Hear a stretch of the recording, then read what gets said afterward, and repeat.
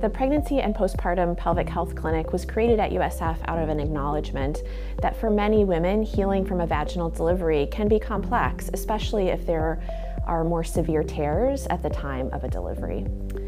There are not a lot of postpartum pelvic health clinics in existence because historically it wasn't acknowledged, the healing that's involved for many women after a traumatic vaginal delivery.